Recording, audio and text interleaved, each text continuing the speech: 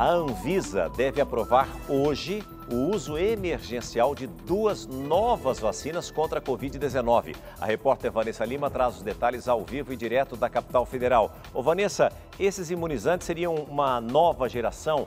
É, eles dão cobertura para essas subvariantes que estão presentes hoje e que estão assustando a população? Um bom dia para você.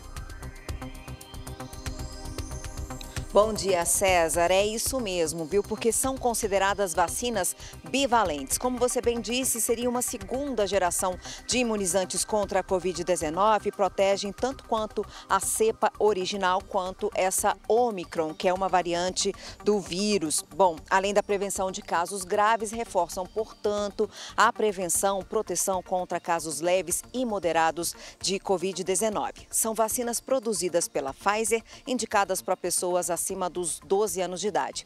E diante de um aumento do número de casos de Covid-19, a expectativa é que a Anvisa libere a aplicação, o uso emergencial dessas vacinas. A Pfizer, inclusive, divulgou um estudo que aponta que essas vacinas bivalentes, elas são nove vezes mais potentes, protegem nove vezes mais se aplicadas em pessoas acima dos 55 anos de idade. Voltamos ao estúdio do Hoje em Dia. Obrigado pelas informações, Vanessa. Um ótimo dia a você e a todos da região central do Brasil.